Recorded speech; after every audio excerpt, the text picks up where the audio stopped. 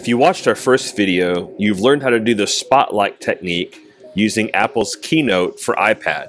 If you haven't watched that video yet, go back and watch that one as it'll make this one make a whole lot more sense. Because now, instead of simply spotlighting one place, we're going to show you how you can use different shapes and highlight multiple places. Or, instead of just showing one particular verse, you can show the entire context of where it comes from, even if it's not a straight single shape. And if you want to have a little bit more fun, you can even make custom spotlights that work great for themes, like this one for the map of one of our favorite amusement parks. I'll show you how to do that today on this advanced spotlight technique video with Apple's Keynote for iPad. So here we are on our iPad in Keynote. To do this, similar to what we did last time, we'll create a new photo slide. We'll go in there as we did before, and we'll add that photo, like for instance the one with the map. And then just like before, we'll go over to that slide and we'll duplicate it so we have our second slide. Tap on this image, copy it, then go up here and reduce the opacity. If it doesn't show up right away, make sure you're on the Style tab, bring it down here. For our purposes today, we'll go to 17%. Now, go ahead and paste that image. When you want to go up here to the plus sign, you can add a circle like we did before, or you can choose any of these shapes. And they have a whole variety here of different shapes you can pick from. But for the spotlight, and just to keep things simple today, we're going to go over to basic, but we're going to choose star. Now, we'll zoom in and pick a few places we want to drop a star on the map. Maybe down here in Brazil is one. Then, copy that shape, paste it, and we'll put this one here over the United Kingdom. Then, we'll copy that shape again, paste it, and put this one over India. Similar to what we've done before, this will be a two-step process. You first hold down one shape with a finger, then tap the other shapes, go up to the paintbrush, and if you go to the bottom here, it gives you an option to combine shapes. We'll choose this first one here on the left. Now, Keynote sees that as one shape. So with that selected, we tap our image, we'll have the option again to mask with shape. When we hit done, we can see that now we've gotten that spotlight effect on three different places instead of just one. So we go over here, set our transition, we'll be able to spotlight three locations instead of just one. You could do this with the regular technique one at a time, but to show three at once, you have to combine those shapes together and not just group them for that masking to work. Now the other option we showed you was the text. So we'll create that new photo slide, go to our album, choose that picture, then again, same thing. Duplicate the slide, go over here, copy the image, go to the paintbrush, bring this down to about 30% or so, so we can still see it.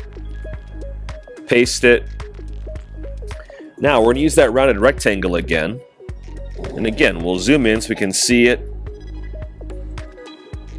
We'll go to where we started, and this time we're going to use three shapes. We want to highlight this column of text. Then we'll copy, we'll paste. We're going to go over here and do an even longer one. And because we don't want to have any gaps, we'll go ahead and make this connect right there. Bring this to the right a little bit more. Then, we'll just hit paste one more time.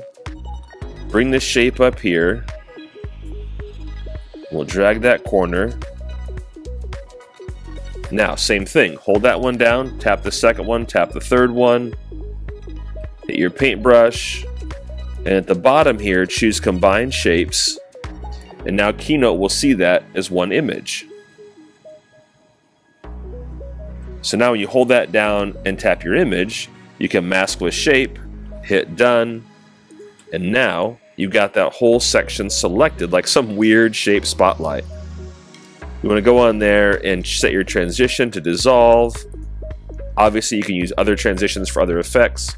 With a spotlight, that seems to work really well. You have your text with a giant uh, context or area selected instead of just one.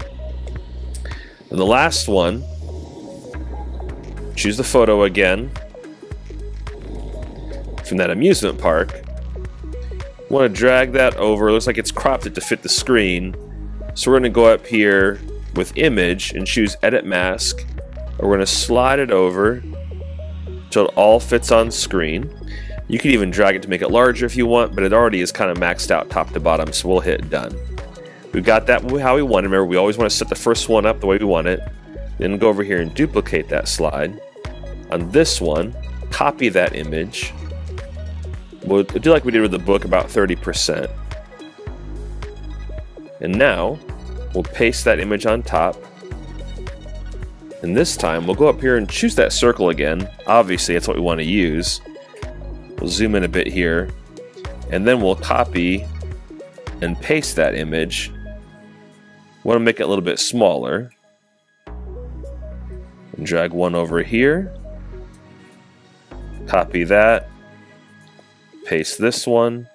Use the guide so they're evened up. Now tap and tap. Go up here to the paintbrush. Don't just group them. Choose on here to combine the shapes. Now it sees that as one new shape. You can drag that wherever you want to spotlight.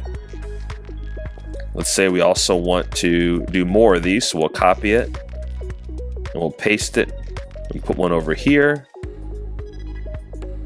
And then we'll put one more over here. Now, holding that one down, tap the other two. Go up to our paintbrush. Go down and combine those shapes. Now, with those selected, tap the image, mask with shape, hit done. We can go over here and set our transition to dissolve.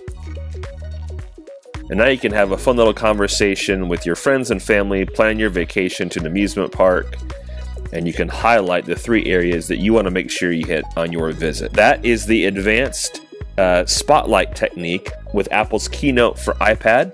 Uh, if you like this video, if you hit that like button, I'd appreciate it. If you got any thoughts on this or other tips that you like to use with Keynote for iPad, leave a comment below.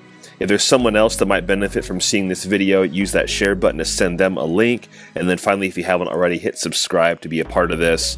And then use the spotlight technique and show off your presentation skills the next time you have information to share. Thank you.